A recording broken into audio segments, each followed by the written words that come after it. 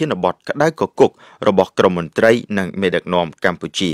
កាលពីចុងខែឧសភាលោកលីបានហៅវត្តមានកងទ័ពវៀតណាមនៅក្នុងប្រទេសកម្ពុជាក្នុងឆ្នាំ1979នោះថាជាការឈ្លានពានរបស់វៀតណាម នៅខណៈលោកថ្លែងសន្ទរកថាបើកវេទិកា សង្គ្រីឡា Dialogue នៅក្នុងប្រទេសសង្ហបុរីលោកនាយករដ្ឋមន្ត្រីហ៊ុនសែននៃប្រទេសកម្ពុជាចាត់ទុកថាការលើកឡើងនេះបង្ហាញថាកាលនោះសង្ហបុរីបានគ្រប់គ្រងរបបប្រល័យពូជសាសន៍និងចង់ឲ្យរបបប្រល័យពូជសាសន៍វិលត្រឡប់មកកម្ពុជាវិញដែរ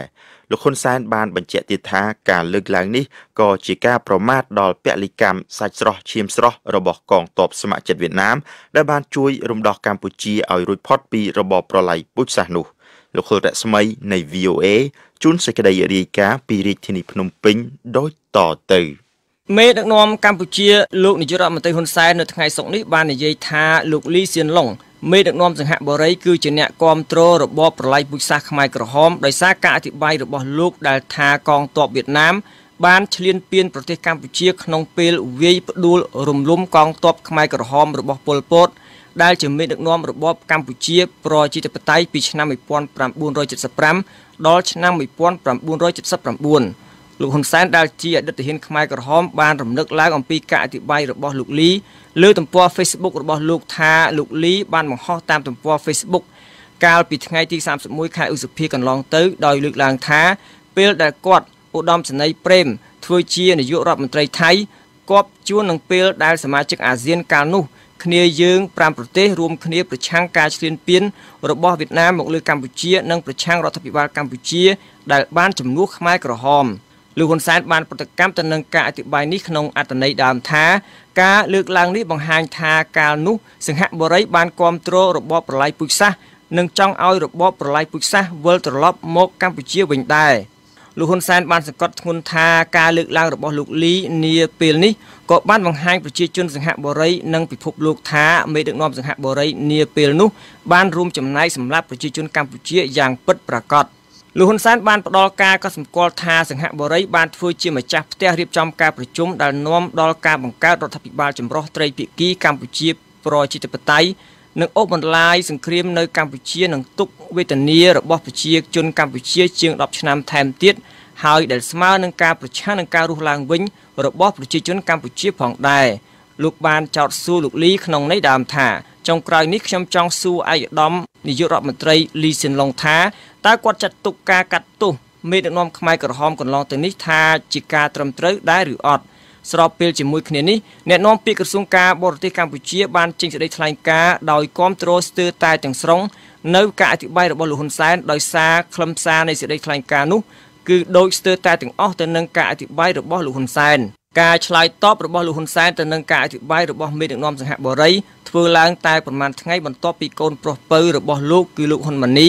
ដែលជាតំណាងរាស្ត្រមួយរូបរបស់ខេត្តកំពង់ស្ពឺផងដែរនោះ បានបង្ហាញការភ្ញាក់ផ្អើលការពិសប្តាហ៍មុនទៅនឹងពាក្យពេចន៍របស់លោកលីសៀនឡុងភ្លាមភ្លាមក្រោយការអធិប្បាយរបស់លោកហ៊ុនម៉ាណីប្រទេសវៀតណាមបានបង្ហាញការសោកស្ដាយនឹងការលើកឡើងរបស់លោកលីអ្នកនាំពាក្យក្រសួងការបរទេសវៀតណាមលោកស្រីលីធីធូហាំងបានឆ្លើយតបជាសាធារណៈថាការលើកឡើងរបស់លោកនាយរដ្ឋមន្ត្រីសង្ហបុរីមិនបង្ហាញពីការពិតនៃប្រវត្តិសាស្ត្រដែលនាំឲ្យមានការប៉ះពាល់អវិជ្ជមាន លើការយល់ឃើញរបស់សាធារណជនលោកស្រីក៏បានថ្លែងថាសាលក្រមរបស់អង្គជំនុំជម្រះវិសាមញ្ញក្នុងតុលាការកម្ពុជាឬសាលាក្តីខ្មែរក្រហមលើអ ுக ្រិតកម្មប្រល័យពូជសាសន៍និងអ ுக ្រិតកម្មប្រឆាំងមនុស្សជាតិដែលប្រព្រឹត្តដោយខ្មែរក្រហមគឺគ្រប់គ្រាន់ល្មមដើម្បីបញ្ជាក់ពីការពិតដែលបានកើតឡើងនៅកម្ពុជាមុនកងទ័ពវៀតណាមចូលមកប្រទេសកម្ពុជាស្ថានទូតសិង្ហបុរីប្រចាំកម្ពុជាមិនឆ្លើយតបទៅនឹងសំណួររបស់ VOA ដែលបានផ្ញើតាមសារអេឡិចត្រូនិកឬអ៊ីមែលយ៉ាងណាប្រធានសភាសង្ហបុរីលោកតាន់ជួនជីនបានធ្វើការអធិប្បាយលើទំព័រ Facebook របស់លោកដោយតបទៅនឹងការថ្លែងរបស់ប្រទេសវៀតណាមតែមិនបានសម្ដៅដល់ប្រទេសកម្ពុជាលោកបានសរសេរលើទំព័រ Facebook របស់លោកនៅថ្ងៃសុក្រនេះក្នុងន័យដើមថាប្រទេសវៀតណាមប្រហែលជាមិនពេញចិត្តយោបល់ខ្លះដែលធ្វើឡើងដោយលោកនាយករដ្ឋមន្ត្រីលីសៀនឡុងហើយខ្ញុំគិតថាពួកគេអាចកំណត់និយមន័យនៃ អតីតកាលតាមបែបដែលពួកគេយល់ថាសមទំនងការនេះមិនបានកែប្រែអតីតកាលដោយមនុស្សជាច្រើនបានយល់ឃើញនោះទេ ហើយការនេះក៏មិនអាចបង្អាក់ពួកយើងមិនឲ្យធ្វើជាមិត្តភក្តិល្អនិងអ្នកចិត្តខាងល្អនាពេលបច្ចុប្បន្ននេះដែរយើងបដិញ្ញាធ្វើជាមិត្តភក្តិនិងអ្នកចិត្តខាងដ៏ល្អ លោកបានរៀបរាប់បន្ថែមថារឿងដែលចម្លែកនោះគឺពេលឃើញជនជាតិសង្ហបុរីខ្លះដែលលោកសន្មតថាអាចមានឬមិនមានប្រភពពីប្រទេសផ្សេងទៀតសប្បាយចិត្តនឹងយករឿងមកនិយាយជាមួយរដ្ឋាភិបាលសង្ហបុរីដោយមិនខ្វល់ពីប្រវត្តិសាស្ត្រលោកសរសេរក្នុងនៃដើមថាឬក៏ពួកគេមិនបានអានឬក៏មិនមានគំនិតណាមួយចំពោះអ្វីដែលបានកើតឡើងនោះឬបើអាក្រក់ជាងនេះទៅទៀតពួកគេដឹងប៉ុន្តែពួកគេជ្រើសរើសធ្វើការវាយប្រហារពាក្យសម្ដីដោយសារតែវាចំណេញនយោបាយ អ្នកប្រវត្តិសាស្ត្រកម្ពុជាយល់ថាការជជែកដេញដោលដែលកើតមានក្រោយការថ្លែងរបស់នាយករដ្ឋមន្ត្រី សិង្ហបុរី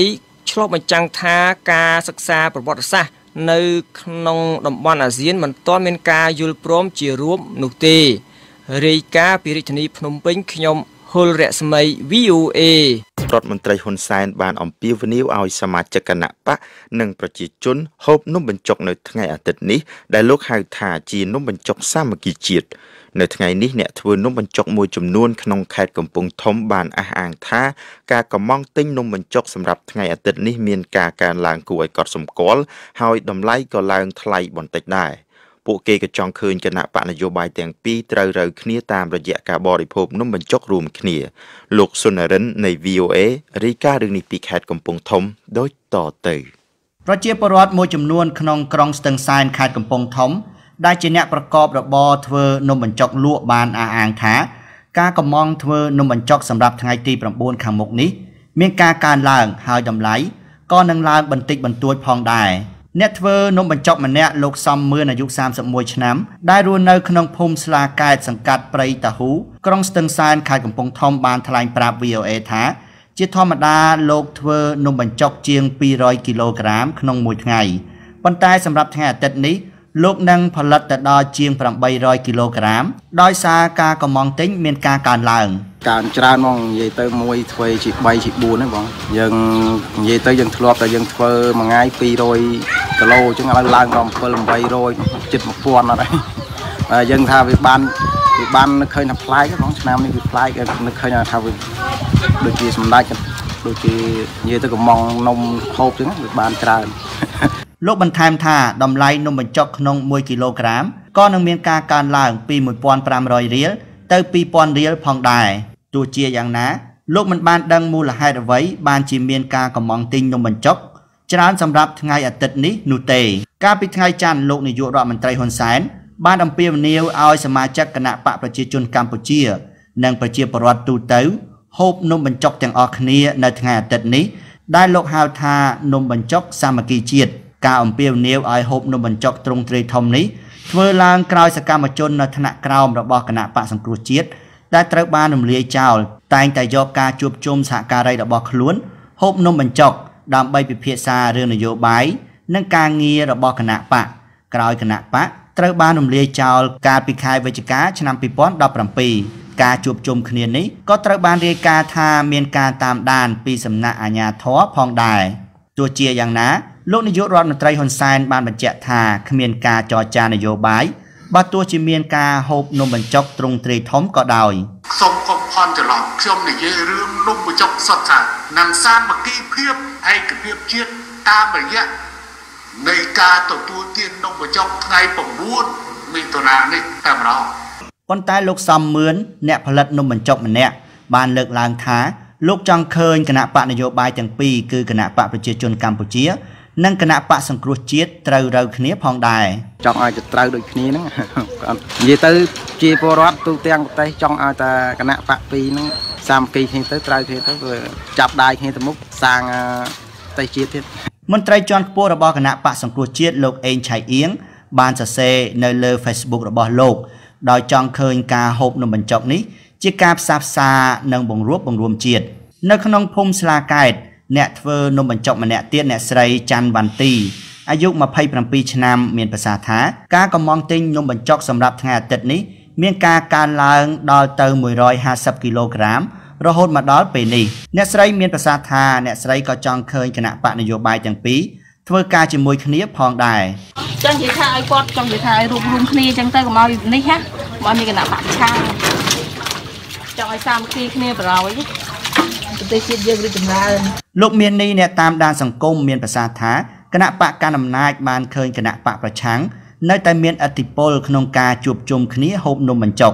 ដូច្នេះលោកថា បកកណ្ដាលអំណាចចង់ប្រៀបធៀបកម្លាំងនេះតាមរយៈការហូបនំបញ្ចុកខ្ញុំគិតថាសម្រាប់គណៈបកកណ្ដាលអំណាចគាត់យល់គាត់មើលឃើញអំពីចលនាហ្នឹងថាជាចលនាមួយដែលបង្ហាញថាអ្នកតំណងរបស់អ្នកគ្រប់គ្រងសង្គមជាតិនេះគឺ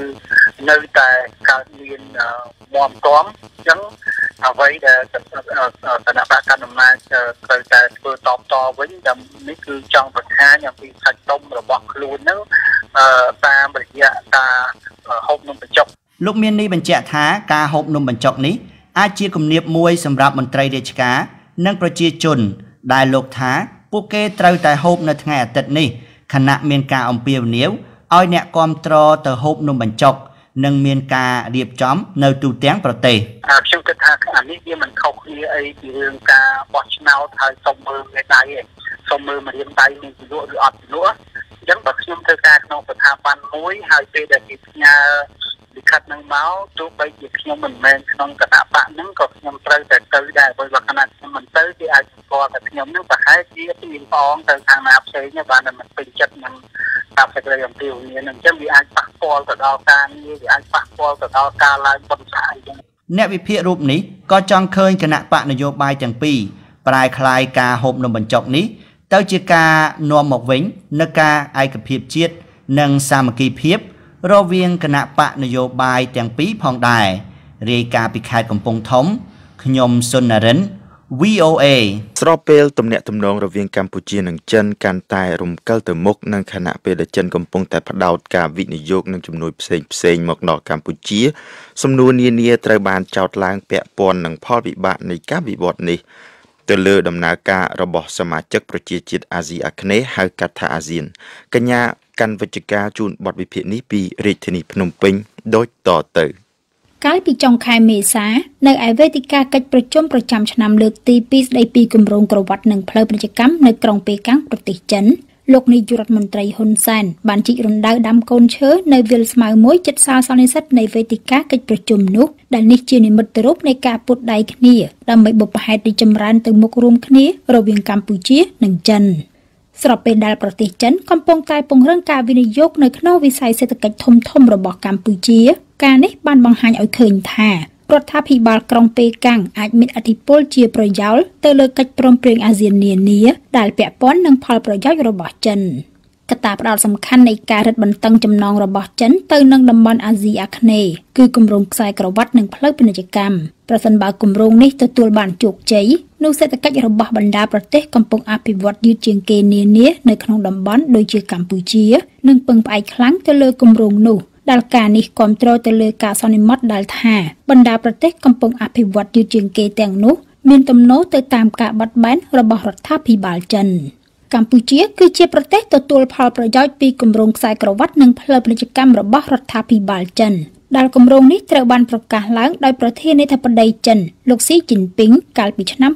2013 កម្ពុជាដែលជាមិត្តជិតស្និទ្ធនឹងរដ្ឋាភិបាលក្រុងប៉េកាំងបានចាត់ទុកគម្រោងនេះថាជាផ្នែកស្នូលនៃការរៀបចំផែនការនយោបាយរបស់ខ្លួនលោកបណ្ឌិតឈៀងវណ្ណរិទ្ធប្រធានវិទ្យាស្ថានចក្ខុវិស័យអាស៊ីនៅរាជធានីភ្នំពេញយល់ឃើញថាវត្តមាននៃការវិនិយោគរបស់ចិនជាគន្លឹះនៃភាពស្របច្បាប់របស់កម្ពុជា ក្នុងបរិបទសេដ្ឋកិច្ចចិននៅក្នុងខ្សែភ្នែកថ្នាក់ដឹកនាំឬក៏ ruling elite ហ្នឹងគឺជា source of economic legitimacy ជាមួយនឹងលំហូរចូលនៃការវិនិយោគរបស់ចិនកម្ពុជាទទួលបានការវិនិយោគជាច្រើន ជាពិសេសនៅក្នុងផ្នែកសន្តាគារនិងអចលនទ្រព្យដើម្បីទទួលអ្នកទេសចរជនជាតិចិនដែលបានមកខាត់ព្រះសីហនុយ៉ាងច្រើនកុះករសម្រាប់ការកំសាន្តក្រោមភ្លើងពណ៌និងកាស៊ីណូលោកខាវីឆុងគិតកនសមាជិកជាន់ខ្ពស់វិទ្យាស្ថានសន្តិសុខនិងការសិក្សាអន្តរជាតិនៃសាកលវិទ្យាល័យជូឡាឡុងកុនប្រទេសថៃបាននិយាយថា ហេតុផលនៅពីក្រោយទំនោររបស់កម្ពុជាទៅកាន់ចិន គឺពាក់ព័ន្ធនឹងសេដ្ឋកិច្ច Cambodia favorable attitude toward China is closely linked to the desire អាកប្បកិរិយាតូតនរបស់កម្ពុជាទៅកាន់ចិន គឺផ្សារភ្ជាប់យ៉ាងជិតដិតទៅនឹងសក្តីសម្រេចនៅក្នុងការប្រើប្រាស់មូលធនវិនិយោគពីចិន យ៉ាងណាក៏ដោយលោកខាវីគិតថានៅពេលអនាគតទំនាក់ទំនងរបស់ចិនជាមួយអាស៊ាននឹងប្រឈមនឹងរយៈកាលនៃការគិតគូរនិងពិនិត្យពិច័យឡើងវិញកាលពីដើមខែឧសភាអគ្គរដ្ឋទូតចិនប្រចាំកម្ពុជាលោកវ៉ាងវិនទៀនបានបកស្រាយក្នុងសេចក្តីថ្លែងការណ៍ចំនួន4ទំព័រពាក់ព័ន្ធនឹងគោលបំណងក្នុងការបង្កើតសហគមន៍ជោគវាសនារួមគ្នាកម្ពុជាចិន ផែនការសកម្មភាពក្នុងការបង្កើតសហគមន៍នេះមានលក្ខណៈពេញលេញពិតប្រាកដស៊ីជម្រៅនិងមានលក្ខណៈខ្ពស់ហើយនឹងធ្វើឡើងក្នុងអំឡុងឆ្នាំ2019និង2023លោកវិនទៀនបានបកស្រាយថាសហគមន៍នេះនឹងជួយដល់ទំនាក់ទំនងចិននិងកម្ពុជាធ្វើដំណើរទៅមុខកាន់តែវែងឆ្ងាយនិងមានស្ថិរភាពលោកបណ្ឌិតអៀសុផល សាស្ត្រាចារ្យផ្នែកការទូតនិងកិច្ចការអន្តរជាតិនៅមហាវិទ្យាល័យ Occidental ទីក្រុង Los Angeles រដ្ឋ California សហរដ្ឋអាមេរិកមានមន្ទិលលើការផ្ដួចផ្ដើមបង្កើតសហគមន៍ជោគវាសនារួមគ្នាកម្ពុជាចិនថាតើការនេះនឹងអាចធ្វើឲ្យកម្ពុជាធ្លាក់ក្នុងអំណាចចិនកាន់តែខ្លាំងឡើងឬយ៉ាងណាលោកសុផលបានសរសេរក្នុងសារអេឡិចត្រូនិកមួយមកកាន់ VOA ជាភាសាអង់គ្លេសនិងត្រូវបានប្រែសម្រួលជាភាសាខ្មែរថា ប្រសិនបើការនេះស្ដាប់មើលទៅដូចជាការរៀបការអញ្ចឹងពិតណាស់គឺគ្មានការលែងលះនោះទេ ការរឹតបន្តឹងចំណងនឹងមានកាន់តែខ្លាំងជាងនេះប៉ុន្តែឃ្លាថាសហគមន៍ជោគវាសនារួមគ្នាត្រូវបានផ្ដួចផ្ដើមឡើងកាលពីឆ្នាំមុនមកម្លេះហើយជាមួយនឹងកម្ពុជាវាស្ដាប់មើលទៅហាក់ដូចជារួមគ្នា ជាប្រទេសតែមួយឬលោកផៃស៊ីផាន អ្នកនាំពាក្យរដ្ឋាភិបាលកម្ពុជាបានច្រានចោលការអះអាងថាកម្ពុជាបានធ្លាក់ចូលក្នុងលំហក្តោបក្តាប់របស់ចិនដែលលោកបាននិយាយថាអភិសាទាំងអស់ដែលបងលើកឡើងនេះគ្រាន់តែជាអ្នកនាំពាក្យដែលអ្នកប្រឆាំងមួយចិនទេនៅពេលកម្ពុជាធ្វើជាម្ចាស់ផ្ទះកិច្ចប្រជុំកំពូលអាស៊ាននៅឆ្នាំ2012អំឡុងពេលដែលចំនួនសមុទ្រចិនខាងត្បូងត្រូវបានពិភពលោកយកចិត្តទុកដាក់នៅថ្ងៃបញ្ចប់នៃកិច្ចប្រជុំកំពូលនិងជាលើកដំបូងនៅក្នុងប្រវត្តិសាស្ត្រ អាស៊ានខកខានក្នុងការចេញសេចក្តីថ្លែងការណ៍រួមនៅគ្រានោះអាស៊ានក៏បានខកខានក្នុងការព្រមព្រៀងលើក្រមប្រតិបត្តិដើម្បីបន្ធូរបន្ថយភាពតានតឹងជំវិញបញ្ហាសមុទ្រចិនខាងត្បូងទីដែលបណ្ដាប្រទេសសមាជិកអាស៊ានចំនួន4មានការទៀមទាជាន់គ្នាជាមួយចិនក្រុមអ្នកវិភាគក្នុងតំបន់បានចង្អុលបង្ហាញពីអកប្បកិរិយារបស់កម្ពុជាអំឡុងពេលកិច្ចប្រជុំនោះដែលហាក់ដូចជាគាំទ្រជំហររបស់ចិនពាក់ព័ន្ធនឹងបញ្ហាសមុទ្រចិនខាងត្បូង ជាហេតុផលមួយនៅពីក្រោយការខកខាននោះកម្ពុជាបានជំទាស់មិនឲ្យនិយាយដល់បញ្ហាចំនួននោះទេខណៈពេលដែលហ្វីលីពីននិងវៀតណាមចង់ឲ្យអាស៊ានជំទាស់នឹងការទៀមទារបស់ចិនឲ្យដោះស្រាយបញ្ហាទ្វេភាគីរដ្ឋាភិបាលកម្ពុជាបានច្រានចោលការលើកឡើងខាងលើ និងបាននិយាយថាខ្លួនព្យាយាមសម្រាលទម្ងន់ចំនួនទៅវិញទេ លោកអៀសុផលសាស្ត្រាចារ្យផ្នែកការទូតនិងកិច្ចការអន្តរជាតិបានលើកឡើងពីភាពរាំងស្ទះដែលអាចកើតមានឡើងដល់ដំណើរការរបស់អាស៊ានខណៈដែលកម្ពុជាកំពុងទទួលរងឥទ្ធិពលខ្លាំងពីប្រទេសចិនលោកអៀសុផលបានសរសេរថាឥឡូវនេះអាស៊ានកំពុងតែប្រេះស្រាំហើយជាមួយនឹងចិនជិះពីក្រោយអាស៊ានក្នុងឋានៈជាក្រុមផ្អែកលើការព្រមព្រៀងជារួមក្នុងតំបន់មិនអាចមានដំណើរការទៅមុខនោះទេជាមួយកម្ពុជាជាសមាជិកដែលជាប្រទេសបង្កឲ្យមានការខកខាន កម្ពុជាបានរងការរិះគន់សារជាថ្មីម្ដងទៀតនៅអំឡុងពេលកិច្ចប្រជុំរដ្ឋមន្ត្រីការបរទេសអាស៊ានលើកទី49នៅក្រុងវៀងច័ន្ទប្រទេសឡាវក្នុងឆ្នាំ2017ចំពោះការបង្អាក់ភាសាពាក់ព័ន្ធនឹងបញ្ហាចំនួនសមុទ្រចិនខាងត្បូងដ៏ចម្រូងចម្រាសពីការលើកឡើងនៅក្នុងសេចក្តីថ្លែងការណ៍រួមអាស៊ានការនេះកើតមានឡើងតែប៉ុន្មានសប្តាហ៍ប៉ុណ្ណោះបន្ទាប់ពីមានសេចក្តីសម្រេចចិត្តពីតុលាការអន្តរជាតិដែលបានច្រានចោលការទាមទារដែនទឹកដោយរដ្ឋាភិបាលចិន។ លោកអៀសុផលបានសរសេរថាទំនាក់ទំនងចិននិងកម្ពុជាគឺកាន់តែជិតស្និទ្ធជាងពេលណាណាទាំងអស់ហើយប្រហែលជាជិតស្និទ្ធជាងអំឡុងឆ្នាំ1975និង1979ទៅទៀតជាមួយនឹងទំនាក់ទំនងអាស៊ាននិងចិននាពេលបច្ចុប្បន្ននិងអភិបាលកិច្ចអាស៊ានដែលតែងតែផ្ដោតលើការព្រមព្រៀងទាំងស្រុងពីសំណាក់ភាគីទាំងអស់នោះកម្ពុជាអាចបង្អាក់អាស៊ានបានយ៉ាងណាក្តីលោកផៃស៊ីផានអ្នកនាំពាក្យរដ្ឋាភិបាលបានប្រាប់ VOA ថា កម្ពុជាមិនមានគោលបំណងបំផ្លាញមិត្តភាពរវាងអាស៊ាន និងសមាជិកអាស៊ាននោះទេ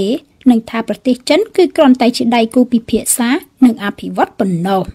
មិនត្រឹមតែកម្ពុជានោះទេដែលមានទំនោរទៅកាន់ប្រទេសចិន ប្រទេសឡាវមីយ៉ាន់ម៉ាប្រ៊ុយណេហាក់ដូចជាស្ថិតនៅលើមាគ៌ាដូចគ្នានេះផងដែរសម្រាប់លោកអៀសុផល ការនេះមានន័យថាទោះបីចិនមិនអាចបោះឆ្នោតបានក៏ដោយ ក៏ចិនអាចជំរុញឲ្យមានការបោះឆ្នោតសម្របតាមគោលការណ៍ខ្លួនដោយប្រើអំណាចផងដែរលោកក៏ចង្អុលបង្ហាញថាជាមួយនឹងការនេះចិនងាយនឹងទទួលបានសម្លេងគាំទ្រពីក្រោយច្រើននិងអាចគ្រប់គ្រងក្តារអុកនៅតំបន់អាស៊ីអាគ្នេយ៍បានក្នុងបទសម្ភាសន៍ផ្ដាច់មុខមួយជាមួយ VOA នៅទីស្នាក់ការអង្គការសហប្រជាជាតិក្នុងទីក្រុងញូវយ៉កកាលពីខែមេសារដ្ឋមន្ត្រីការពារជាតិលោកទីបាញ់បានច្រានចោលការព្រួយបារម្ភដែលថាគម្រោងអភិវឌ្ឍរបស់ចិននៅខេត្តកោះកុង អាចត្រូវបានប្រើប្រាស់សម្រាប់ហេតុផលយោធាហើយលោកបានលើកឡើងសារជាថ្មីអំពីការបដិញ្ញារបស់កម្ពុជានៅក្នុងការរក្សាបូរណភាពទឹកដីពីការប្រើប្រាស់ជាមូលដ្ឋានយោធាបរទេសក្រុមហ៊ុនចិនឈ្មោះ Union Development Group ដែលត្រូវបានរាយការណ៍ថាបានគ្រប់គ្រងលើដីទំហំ45,000ហិកតា ក្នុងនោះរួមមាន20%នៃតំបន់ឆ្នេរនៅខេត្តកោះកុងនិងត្រូវប្រើប្រាស់សម្រាប់វិស័យអេកូទេសចរនិងសម្រាប់លំហែកាយតែប៉ុណ្ណោះ នេះបើយោងទៅតាមលោករដ្ឋមន្ត្រីការពារជាតិទាបាញ់យោងទៅតាមរបាយការណ៍ព័ត៌មានមួយភាគធំនៃប្រាក់វិនិយោគចំនួន3.8000លានដុល្លារអាមេរិកដោយក្រុមហ៊ុនខាងលើនេះនឹងត្រូវប្រើប្រាស់សម្រាប់សាងសង់ប្រលានយន្តហោះអន្តរជាតិនិងកំពង់ផែទឹកជ្រៅដែលការនេះបានបង្កឲ្យមានការព្រួយបារម្ភពីការប្រើប្រាស់ដើម្បីហេតុផលយោធានៅថ្ងៃអនាគត រយៈពេលតែ2ថ្ងៃប៉ុណ្ណោះបន្ទាប់ពីការប្រពខណាត់ធំនៃពិធីរំលឹកខួបនៃការរំដោះកម្ពុជាចេញពីរបបខ្មែរក្រហម7មករាមានរបាយការណ៍ថានាវាប្រយុទ្ធចិនធំធំចំនួន3បានមកសម្ចតនៅកំពង់ផែខេត្តព្រះសីហនុហើយកាលពីខែមីនារដ្ឋាភិបាលកម្ពុជាក៏បានធ្វើសមយុទ្ធនាគមាសដែលជាសមយុទ្ធយោធារួមជាមួយចិន ក្នុងទំហំធំជាងគេបង្អស់មួយមកទល់ពេលនេះផងដែរកាលពីខែមិថុនាឆ្នាំ2018 រដ្ឋាភិបាលចិនក៏បានបដិញ្ញាផ្ដល់ជំនួយយោធាចំនួន100លានដុល្លារបន្ថែមទៀតបន្ទាប់ពីដំណើរទស្សនកិច្ចរបស់រដ្ឋមន្ត្រីការពារជាតិចិន មកកាន់កម្ពុជាការបដិញ្ញាពង្រឹងវិស័យការពារជាតិនិងសន្តិសុខក៏ត្រូវបានលើកឡើងក្នុងសេចក្តីថ្លែងការណ៍រួមអំឡុងពេលដំណើរទស្សនកិច្ចរបស់លោកនាយករដ្ឋមន្ត្រីហ៊ុនសែនទៅកាន់ប្រទេសចិនផងដែរកាលពីខែមករាឆ្នាំនេះលោកអៀសុផលបានលើកឡើងបន្ថែមថា ឥទ្ធិពលរបស់ចិននឹងជ្រាបចូលទៅក្នុងបរិបទសន្តិសុខផងដែរដោយសារតែកង្វះប្រសិទ្ធភាពនៃវេទិកាសន្តិសុខអាស៊ាន លោកបញ្ជាក់ថានេះមានន័យថាចិនឥឡូវនេះកំពុងតែពង្រីកខ្លួនលើសពីដែនសេដ្ឋកិច្ចនិងចូលទៅក្នុងដែនសន្តិសុខដែលការនេះនឹងមានគ្រោះថ្នាក់សម្រាប់អាស៊ានវេទិកាសន្តិសុខអាស៊ាននឹងមិនមានន័យច្រើនទេបែបផែននៃចំណងមិត្តភាពយូរយាររវាងកម្ពុជានិងវៀតណាមដែលជាសមាជិកអាស៊ានមួយទៀត ដែលមានមកទល់ពេលនេះចាប់តាំងពីវៀតណាមបានរំដោះកម្ពុជាចេញពីកណ្ដាប់ដៃពួកខ្មែរក្រហមនៅឆ្នាំ1979អាចរងការប៉ះទង្គិចផងដែរប្រសិនបើទំនាក់ទំនងរវាងកម្ពុជានិងចិនកាន់តែជិតស្និទ្ធជាងនេះវៀតណាមគឺជាគូប្រជែងដ៏មុតមមមួយរបស់ចិនខណៈពេលដែលមានចំនួនសមុទ្រចិនខាងត្បូង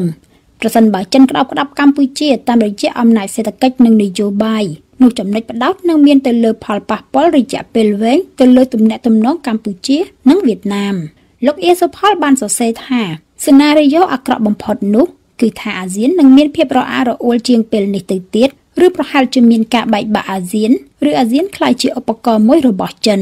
ប៉ុន្តែការនេះនឹងត្រូវឆ្លងសាកសពប្រទេសវៀតណាមសិនក្នុងសេចក្តីប្រកាសការទូតមួយដែលមិនត្រូវបានចេញជាសាធារណៈដែល VOA ទទួលបានបានបង្ហាញថា បញ្ហាព្រំដែនកាលពីឆ្នាំមុនបាននាំឲ្យមានការឆ្គាំឆ្គងដាក់គ្នាបន្ទាប់ពីយោធាវៀតណាមបានដាំបង្គោលដោយឯកតោភាគីនៅតាមបណ្ដោយព្រំដែនឆ្នេរកម្ពុជាដែលកំពុងមានភាពចម្រូងចម្រាសនៅក្នុងលិខិតមួយទៅកាន់ស្ថានទូតវៀតណាមកាលពីថ្ងៃទី23ខែកក្កដាឆ្នាំ2018ក្រសួងការបរទេសកម្ពុជាបានទាមទារឲ្យវៀតណាមដកចេញបង្គោលព្រំដែនដែលត្រូវបានដាំនៅតំបន់ព្រំប្រទល់ដែនទឹកដែលមិនទាន់បានគូសកំណត់ជាផ្លូវការក្នុងលិខិតនោះ មន្ត្រីកម្ពុជាមួយរូបបានអះអាងថារដ្ឋាភិបាលភ្នំពេញបានធ្វើកិច្ចពិភាក្សាជាមួយរដ្ឋាភិបាលក្រុងហាណូយពាក់ព័ន្ធនឹងបញ្ហានេះមកទល់ពេលនេះគ្មានការលើកឡើងពីចំនួនពាក់ព័ន្ធនឹងការដាំបង្គោលពីសំណាក់ប្រទេសវៀតណាមនិងមិនទាន់មានភាពច្បាស់លាស់នៅឡើយទេថាមានការព្រមព្រៀងនឹងការទៀមទារបស់កម្ពុជាឲ្យមានការដកបង្គោលនោះ។ នៅពេលសួរថាតើទំនាក់ទំនងកាន់តែជិតស្និទ្ធរវាងកម្ពុជានិងចិន មានការប៉ះពាល់ដល់កម្រិតណាទៅលើទំនាក់ទំនងកម្ពុជានិងវៀតណាមលោកអៀសុផលបានលើកឡើងថាវៀតណាមមិនសប្បាយចិត្តនោះទេប៉ុន្តែតើវៀតណាមអាចធ្វើអ្វីបានទៅ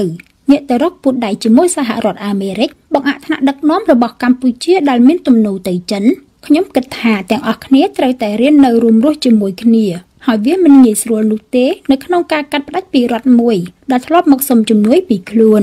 អ្នកចង់ឲ្យរដ្ឋនោះស្ថិតនៅក្នុងគន្លងរបស់អ្នកប្រសិនបើអ្នកជាវៀតណាមខណៈដែលចិនកំពុងពង្រឹងអំណាចសេដ្ឋកិច្ចរបស់ខ្លួនជាលក្ខណៈយុទ្ធសាស្ត្រនៅក្នុងតំបន់អាស៊ានចង់មិនចង់គឺចិនមានទំនោរនៅក្នុងការពាក់ព័ន្ធនឹងបញ្ហាដែលទាក់ទិននឹងខ្លួននិងតំបន់ ការប្រឡូកប្រតិក្រឡាគ្នានិងការប៉ះទង្គិចគ្នាងាយនឹងកើតមានឡើងប្រសិនបើផលប្រយោជន៍ផ្សេងផ្សេងមិនស្ថិតលើមាគ៌ាស្របគ្នាហើយការនេះក៏នឹងជាទេសាកល្បងមួយទៅលើភាពរឹងមាំនិងសាមគ្គីភាពរបស់អាស៊ានដោយមានមន្ទិលទៅលើរាល់ជំនួយពីសំណាក់ប្រទេសមហាអំណាចសេដ្ឋកិច្ចលោកឈៀងវណ្ណរិទ្ធបាននិយាយថាធម្មតានៅក្នុងប្រវត្តិសាស្ត្រ អត់មានមហាអំណាចណាគាត់ទៅជួយដល់ស្មោះត្រង់ដល់ប្រទេសតូចបានទេប្រទេសតូចនឹងត្រូវខំប្រឹងរួបរวมគ្នាដើម្បីការពារផលប្រយោជន៍គ្នារាយការណ៍ពីរាជធានីភ្នំពេញ នាងខ្ញុំកាន់វិជ្ជការ VOA